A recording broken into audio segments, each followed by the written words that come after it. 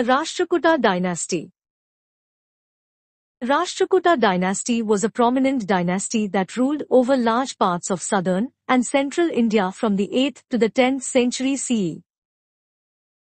The Rashtrakutas played a significant role in the political, cultural, and architectural history of India.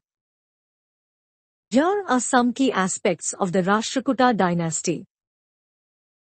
Origin and expansion The Rashtrakutas originated from the ancient Karnataka region and rose to prominence under the leadership of Dantidurga in the 8th century CE. They gradually expanded their territory through military conquests, eventually ruling over a vast area that encompassed present-day Maharashtra, Karnataka, parts of Madhya Pradesh, Gujarat, and Andhra Pradesh. Political influence The Rashtrakutas established a strong and centralized administration, which helped them maintain a stable empire. They followed an efficient administrative system and had a well-organized military structure. Dynasty had a long line of powerful and influential rulers who played a crucial role in shaping the political landscape of the Deccan.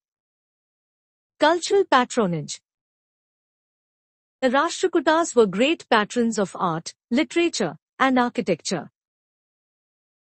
They encouraged the development of regional languages and literature, including Kannada and Sanskrit.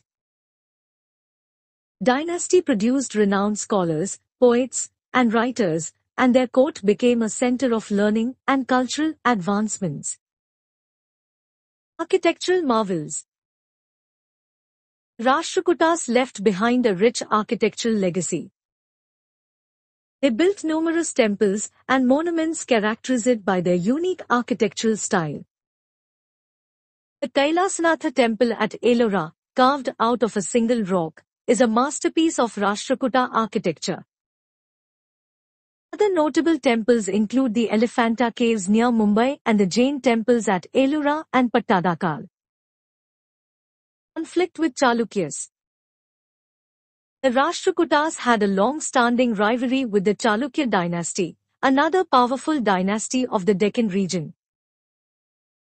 The conflict between the two dynasties spanned several centuries and resulted in frequent wars, shifting alliances, and territorial disputes. The rivalry shaped the political dynamics of the Deccan during that period.